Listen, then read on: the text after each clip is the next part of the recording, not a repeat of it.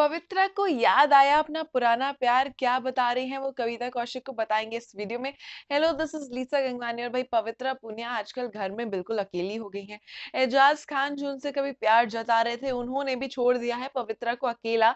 ऐसे में पवित्रा को अपना पुराना प्यार याद आ रहा है और उसके बारे में कविता कौशिक को बताते हुए नज़र आई। पवित्रा, हम आपको बता दें कि पवित्रा क्या बता रही थी कविता कौशिक को? तो वो ये बता रही थी कि 2015 में उनकी हुई थी किसी से सगाई ऐसे में वो लड़का उनको बहुत पसंद था।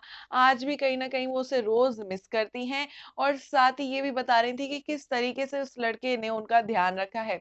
जी हाँ वो बता रही थी, तीन साल तक जो ये सगाई चली थी, उसमें चाहे कुछ भी हो जाए, ये लड़का उनको कभी भी गाड़ी का गेट नहीं खोलने देता था।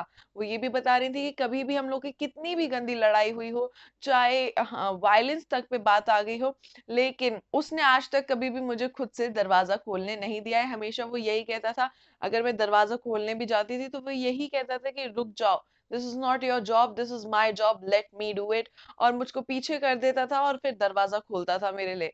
तो भाई ये कहानी बताते हुए पवित्रा याद कर रही हैं अपने पुराने प्यार को और ये भी बता रही हैं कि वो आज तक रोज उसे मिस करती हैं।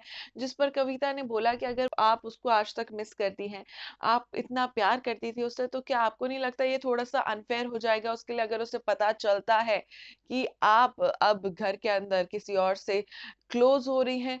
किसी और से इक्वेशन बनाने की कोशिश करी है तो पवित्र इस पर कहते हैं कि, पर अब हम लोग साथ तो नहीं है। मैं आज भी उसे याद करती हूँ, लेकिन अब क्या मतलब है? उसने तो साफ़ बोल दिया था कि वो किसी से शादी नहीं करेगा, मैं, अगर मैं नहीं मिली उसे तो।